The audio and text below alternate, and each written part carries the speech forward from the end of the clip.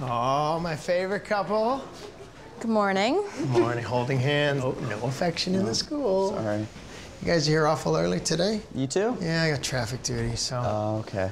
I came to watch uh, Sean's practice. ah, that's so cute, man. You guys are perfect. Star athlete, star student, star athlete, obviously, when I was younger. So, you're a lucky man. Thanks, sir. I'm still looking for my you, my you, Miranda. Not my you, not as in you specifically, but like something like you that was older. That's what I was meaning. Okay, let me let me just backtrack. What I'm saying, Miranda, is if I was younger and still in high school, we would date. no, no, we wouldn't. No, we would. We would probably date. No. Trust me, I'm I'm telling you. You would you should have seen. I was. Sir, don't you uh, have traffic duty? yeah, yeah. I gotta go.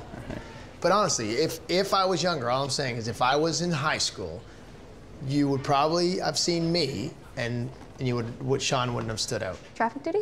Yeah. Yes. Good. Thanks. See ya.